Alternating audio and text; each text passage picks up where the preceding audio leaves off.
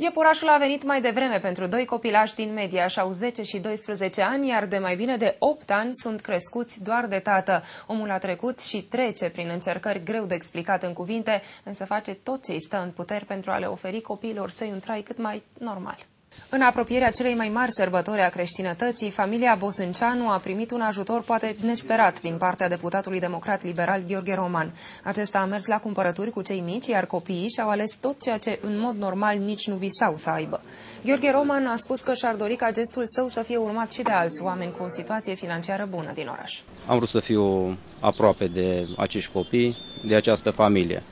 Le-am promis că în cazul în care rezultatele la învățătură vor fi bune, o să-i ajut să meargă în vacanța de vară și într-o tabără școlară și în continuare o să-i ajut și cu rechizite și cu tot ce este necesar pentru a învăța cât mai bine.